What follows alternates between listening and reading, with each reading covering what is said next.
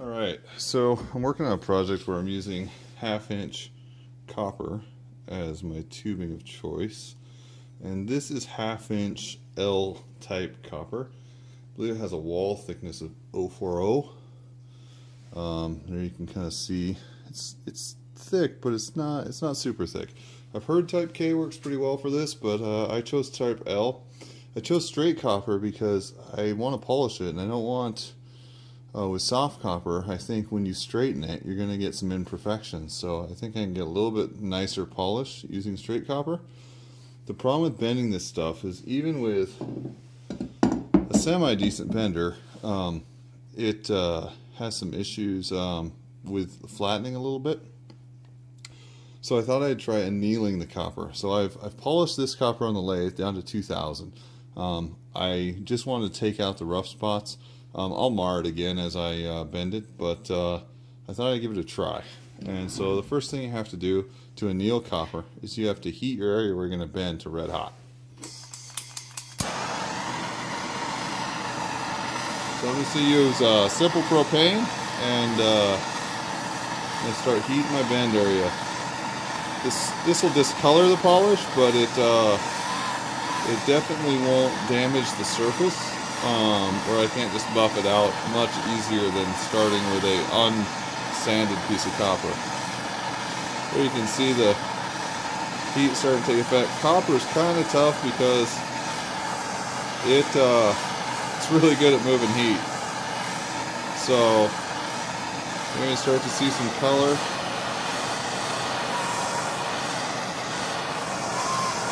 So for copper to uh, quench and soften. You need it to be uh, approximately 700 degrees.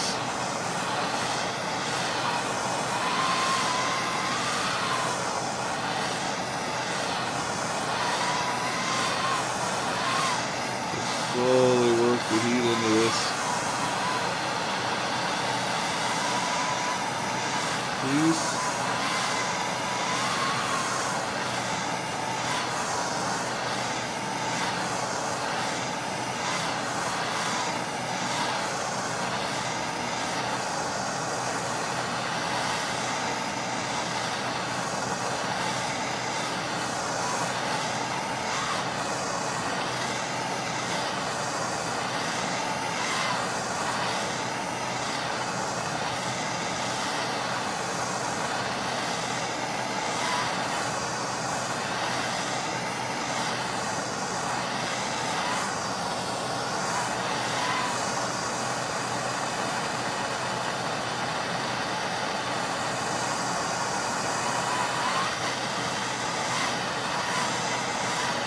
Try to get some color in it now.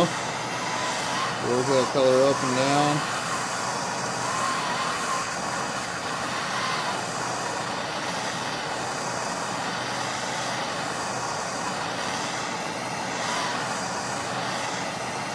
And then quench.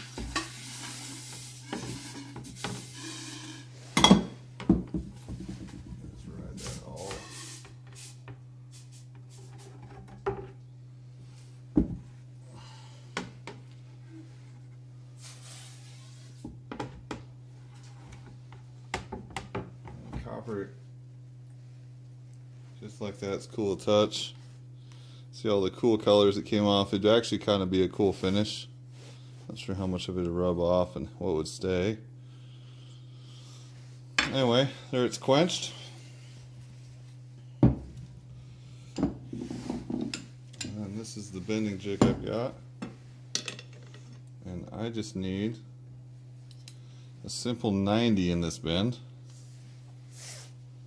and with very little force I can come around and roll my 90 I know with this bender I need to go about two or three degrees past.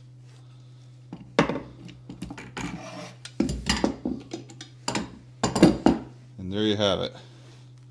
One 90 degree straight copper bend. You can see it's still got a little bit of flare and stuff in it but uh, pretty happy with that bend and uh, all polished out. Uh, it looks pretty nice. Not much marring at all from the bender. Um, I did try a couple of these bends before annealing and uh, it takes about twice as much force. So I know that the annealing process of heating the copper and then quenching it in water is working, at least to some degree. I'm no metallurgist, but uh, but it does work. So yeah, so there's my bend.